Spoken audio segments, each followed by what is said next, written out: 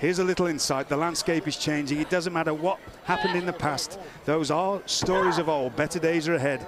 I'm behind the wheel now. It's a clean slate. I will bring new life to NXT. There's nothing to fear. Being a GM, it's a pain, but I'm used to. Now, don't get me wrong. Any second, now Blasphemous Ruvers will be begin.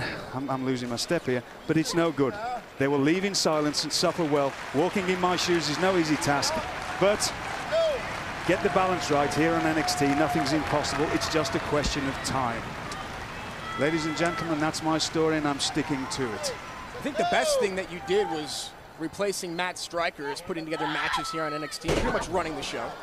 Well, I, have got a lot to do, but uh, you know, I've, I've got the experience. But that's what I've got to deal with. All these problems. Oh! Ooh. let's check that Tamina's okay. Looked like Maxine's toes went right into her kidneys then. Yeah, but a crash and burn for Maxine is now Tamina.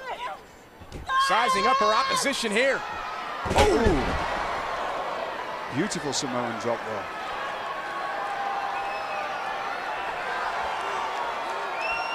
You feel the excitement in the air already, can't you?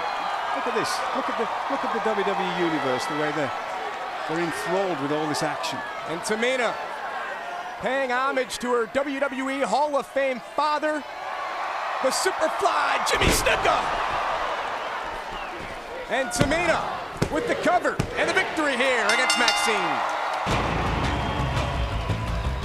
Here's your winner, Tamina Snuka. And William Regal all smiles here as he put together a, a great match to kick things off between Tamina and Maxine.